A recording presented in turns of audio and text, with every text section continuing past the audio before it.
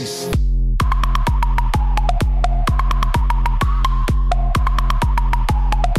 Hey, what's going on guys? Rams here with the new GTA 5 video for you guys today. In today's video, I'm gonna show you guys probably a brand new Easter egg.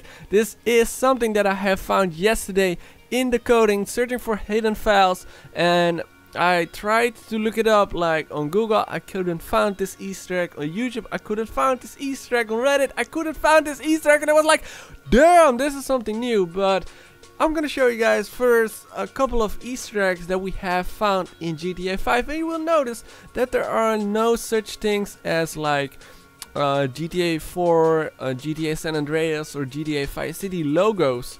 There are references like this dollar bill right here to San Andreas. There is a Liberty City map on a couple of flags but there isn't such a logo that says GTA San Andreas or GTA 4 or GTA Vice City or anything like that. But right now, right now guys, I found this Easter egg in the coding.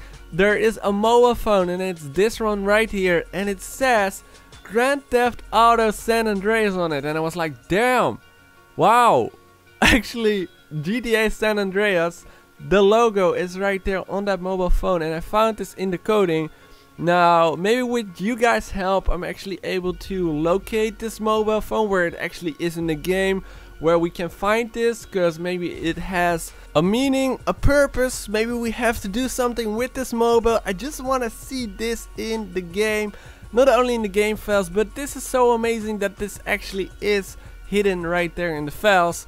So I found a couple more things and I'm gonna I'm, I'm so excited to show you guys that and we'll do on another video because I found so many things I already tweeted out a couple of them but damn I'm gonna show you guys that there's actually a new mini game found that I found in the coding so Wow, there's so much going on right now, but I hope you guys enjoyed this video. Make sure to drop a like on it, and if you are new, subscribe for more GTA 5 videos. My name is Robbin Rams, and I want to thank you guys for watching. Bye bye!